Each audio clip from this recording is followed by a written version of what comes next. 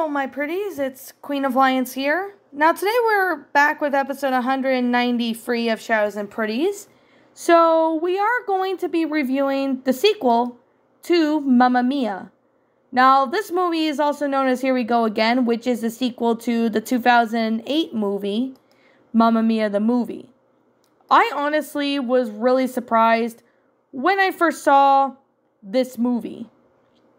Well, like this the first one. Like I mean, when I heard this sequel was coming out, I had to, you know, rewatch the first movie because I honestly couldn't re- exactly remember if um I couldn't really remember for you know if I watched it as a kid or not. I might have watched the first one as a kid, but probably just didn't take any interest or remember. But I honestly really thought the sequel was good. I mean, the sequel is honestly a really good movie. Now, this came out 10 years after Mamma Mia, so I'm going to go ahead and do the sequel to it. So, I just kind of want to warn you right now to click off this video if you do not want any spoilers, as I'm going to be spoiling pretty much everything about this movie. So, yeah, I just kind of want to give a heads up because if people don't want to hear it, I recommend click off this video, go watch another of my videos if you want to. So, this movie was an amazing, well made movie and a great sequel to the first movie, which I really enjoyed it. It's a pretty good movie. It's got it's got most of the cast crew members to come back to play as, you know, you know the certain characters. Although I definitely have to say this movie is fantastic. I mean, it's pretty well made, especially with the whole concept of how it went out and stuff. So, with that being the case, that being said, I'm going to go ahead and explain what the plot of this movie is about in case for you guys who haven't seen the movie in a long time or for those who want a refresher and even those who have not seen the movie and don't care about spoilers. So, this takes place in a flashback to the year 19 79, where a young Donna Sheridan graduates from Oxford's new college with Rosie and Tanya. This is also a musical like the first like just like the first film, so there is a lot of great songs in there. Some new ones and even some of the old ones that came back. And there he had and dreams of a Greek island named Kalokairi. Donna's mother Ruby is a famous singer but she has a well strained relationship with her daughter and is constantly away on tour and does not attend the graduation. Fed up with her mother's consistent negligence and determined to spend her life making memories, Donna decides to travel to Kalokairi to find her destiny. So then it flash, passes forward to the present, five years after the events of the first film. Sophie is preparing for the grand reopening of the Hotel Bella Donna in honor of her recently deceased mother. Harry and Bill are unable to attend due to overseas business ventures, and Sophie also feels estranged from Sky, who has been offered a part a permanent job in New York City. In Paris, Donna then meets up with the sweet but awkward Harry Bright, who instantly falls in love with her. So they spend the night together, but Donna leaves soon afterwards for Greece. She also misses her boat to Kalokairi, but is offered a ride by Bill Anderson in his yacht. And the two dance and they flirt. However, on the way, they help a stranded fisherman, Alexo, back to shore in time to save his loved one, who is, mar- who is having to marry another. Unbeknownst to Donna, Harry has followed her to Greece, and however, he arrives too late, which he sadly watches the boat sail off in the distance. So, excuse me, pardon me about that, I just had a burp. In the present, Rosie and Tanya, Tanya then arrive to support Sophie as she shows them the new hotel. This mirrors the past to which Donna explores abandoned farmhouse that would eventually become a hotel. A heavy storm then breaks out, and Donna discovers a trapped horse and soothes it with the assistance of Sam. And in the present, the heavy storm destroys the decorations and, per- and prevents transportation to Kalokairi, much to Sophie's dismay. Sam, who has been living in the cabin on the island, reassures Sophie that she can never let her mother down, telling her the story how he once let Donna down. Years ago, before Sophie was born, Donna and Sam were enjoying a whirlwind romance, But it ended badly when Donna found out Sam was engaged to another woman, Lorraine. Heartbroken, Donna breaks up with him and tearfully watches him leave the island. While present, Sam reassures Sophie of one of her mother's vow for, value for her. So, following Sam's departure, Donna is visited by Tanya and Rosie, who cheer up by singing with her as Donna and the Dynamos. So, Bill returns to the island later, and Donna joins him on the boat, much to the chagrin of Rosie, who falls for Bill. So, while they're gone, Sam returns, returns as well, having ended his engagement for Donna, but is saddened to hear that he is with another she's with another man. Donna discovers that she is pregnant, but has no idea which of the recent lovers is the father. Bill's great aunt Sophia overhears Donna's wish to stay on the island, and she reveals the old abandonment farmhouse Donna has been staying at. Donna accepts her offer to stay here, and she eventually gives birth to Sophie. So, this movie has like a series of flashbacks, you know, stuff that's been taken from, you know, the past and the present. It's pretty interesting how this movie really does well with that, which I really find it amazing. Amazing job with it. However, in the present, Sophie opens up to Rosie and Tanya about their conflict with Sky, and Rosie explains to Sophie of how she and Bill broke up. While meanwhile, Bill, Harry, and Sky leave their ventures on the support for Sophie, but they're told that there are no boats on the on to Kalokairi. However, much to Alexo, recognizes Bill and offers the trio a boat passage to the island as gratitude for saving his relationship. Bill convinces the others to join in the party at Kalokairi when the guests arrive. The dancing uh, arrive Bill and Rosie quickly reunite over the mutual grief over Donna's death. Sophie reveals to Sky later that she's pregnant and that she's never felt closer to her mother. I was very surprised that, you know, it's revealed that Sophie is pregnant. I mean, you don't really see the pregnancy too too much like her showing, you know, her pregnant belly or something like that until near towards the end of the movie. Like you'll get to see that. I mean, I'm gonna say right now, if you watch the movie, you'll understand where I'm coming from with this. The celebration gets disrupted when Ruby arrives, despite Sophie decided not to invite her. Ruby explains that Sky has tracked her down to New York and that she wants to build a true relationship with her granddaughter. Sophie then performs with the Dynamos in honor of Danya, much to the pride of Ruby, who expressed slight of since grief over her daughter's death. It is later revealed that the hotel manager, Senor Fernando, though, is actually Ruby's long lost lover from 1959, and the two joyously reunited.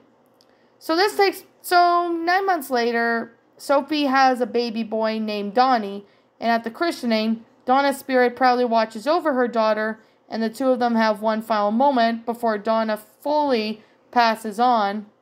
The end credits show all the characters, including Danya and the younger cast having a huge party at the Hotel Belladonna, and that's how the movie ends. I mean, what a great movie. I mean, this honestly has a really good soundtrack. It's a really great sequel to the second movie.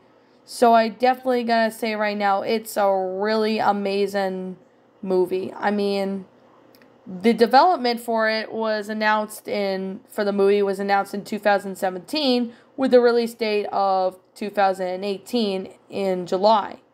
So, Ol Parker, who directed the first Mamma Mia movie, also directed this one.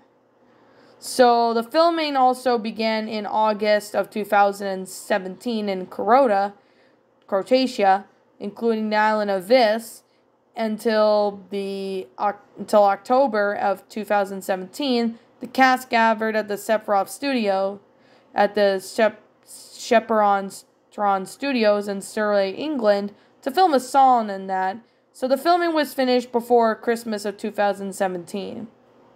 I honestly really like how the fact that this movie was a pretty damn good sequel.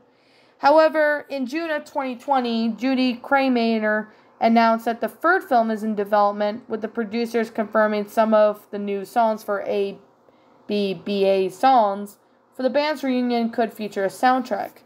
However, unfortunately, due to the COVID 19 pandemic, unfortunately, that has caused with some delays of development for the project.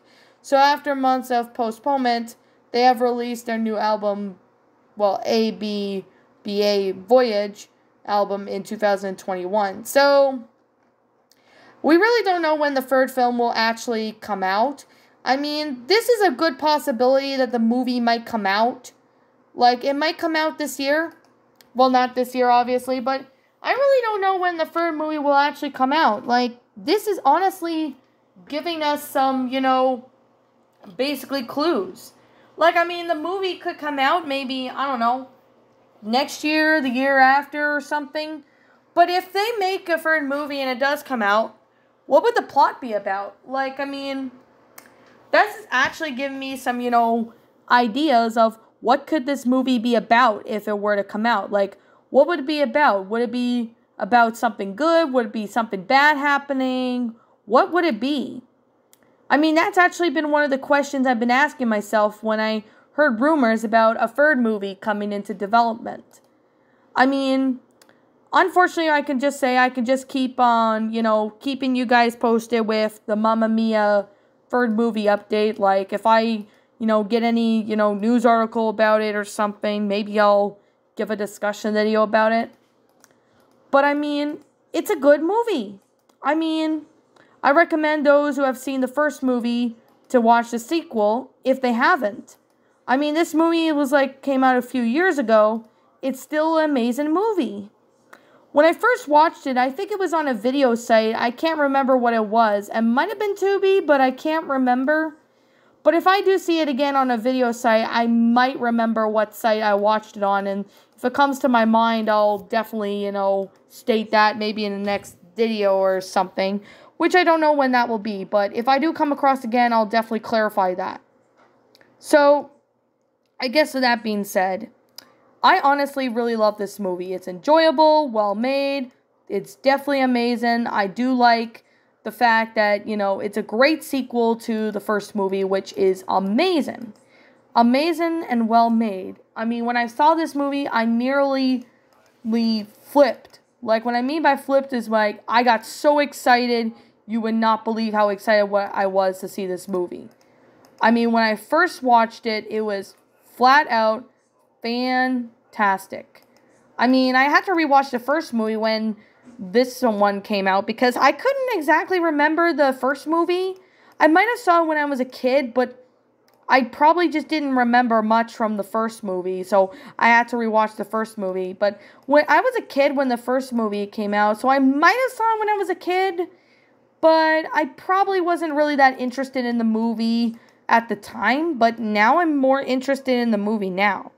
I mean, I really recommend for people who are fans of this movie like the first one, to go watch the sequel.